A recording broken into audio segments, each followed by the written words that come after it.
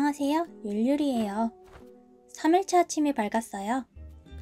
우선은 어제 팔지 못한 물건들을 팔고 다시 한번 존과의 친분을 쌓아보도록 하겠습니다. 돈을 엄청 많이 벌었네요. 아, 오늘도 강매를 합니다. 자카르우드라니 이게 대체 뭘까요?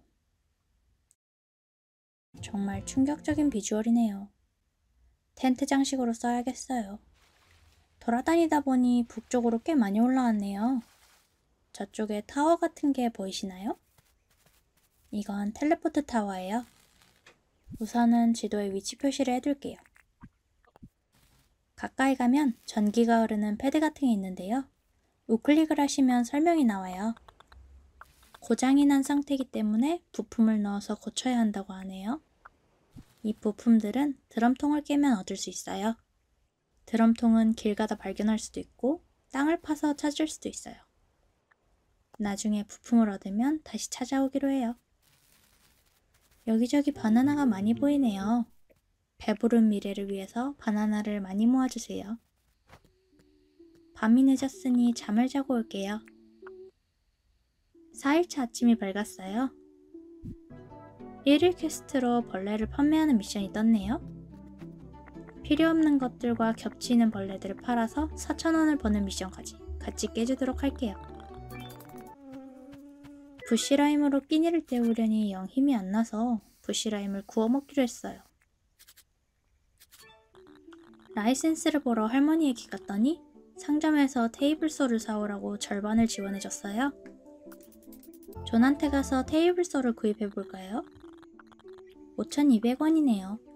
table saw를 이용하면 통나무를 나무 판자로 만들 수 있어요. table saw를 설치하고 할머니에게 보고를 하면 tin 광석을 녹이기 위해 용광로를 만들자고 하네요. 캠프파이어 하나, 돌 3개, tin 광석 10개를 모아 오래요. 원래 있던 캠프파이어를 없앨 순 없으니 하나 더 만들어줘야겠죠? 틴 광석이 없어서 주변을 돌면서 찾으러 다녔어요.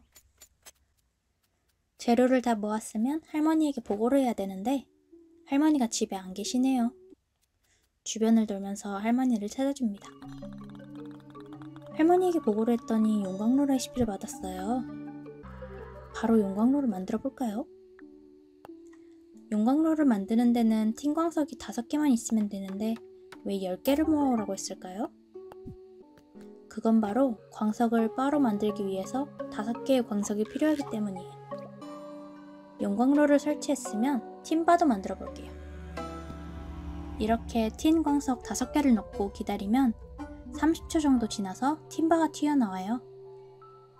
한 번에 하나씩만 가공할 수 있으니 많은 양을 가공할 때는 용광로를 여러 개 설치하는 게 좋겠죠.